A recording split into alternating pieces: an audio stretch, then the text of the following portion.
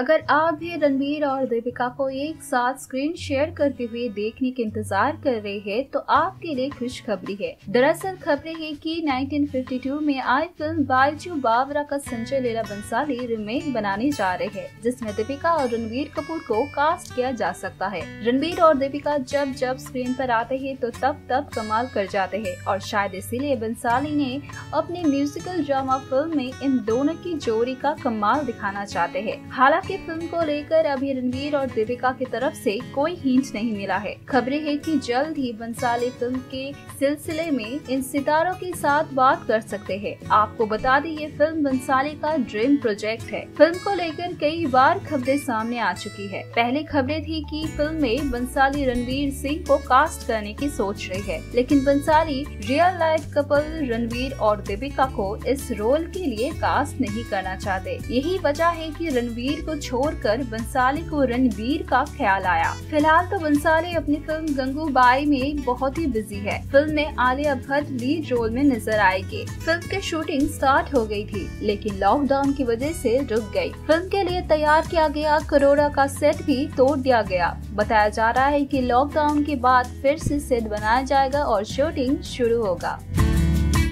Thanks for watching this video television दुनिया की छोटी बड़ी न्यूज़ के लिए हमारा चैनल सब्सक्राइब करना मत भूलिए। अगर आपको हमारा वीडियो पसंद आए तो कमेंट लाइक ज़रूर करना।